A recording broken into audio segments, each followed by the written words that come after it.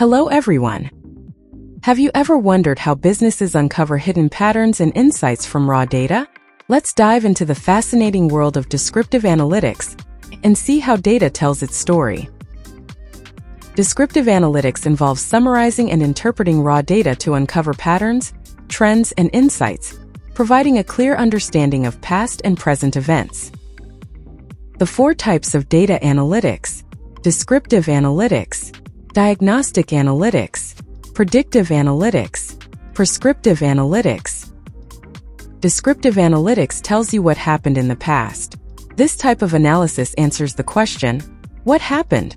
by providing a snapshot of past performance and trends. Imagine you own a coffee shop.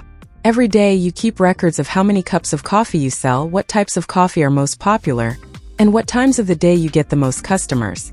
At the end of the month, you look at all this information to understand your business better.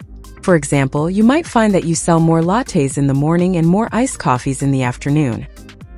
This process of reviewing and summarizing your sales records is similar to descriptive analytics. You're not predicting future sales or trying to understand why certain trends occur. You're simply looking at the data to see what has happened in your coffee shop over the past month. How descriptive analytics is useful in the real world. Business performance monitoring. Companies use descriptive analytics to monitor key performance indicators like sales, revenue, and customer satisfaction. This helps them understand how their business is performing over time. Identifying trends.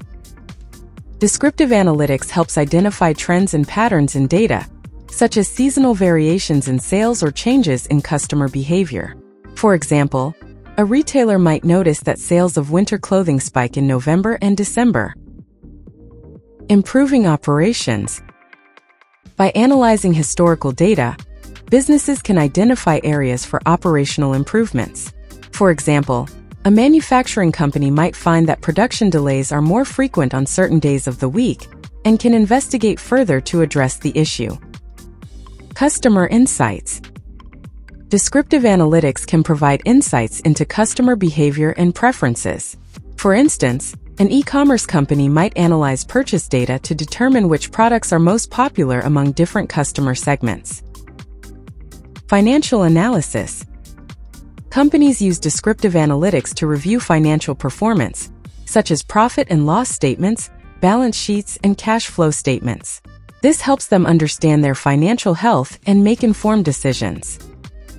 In summary, descriptive analytics is about understanding past and current data to gain insights and inform decision-making.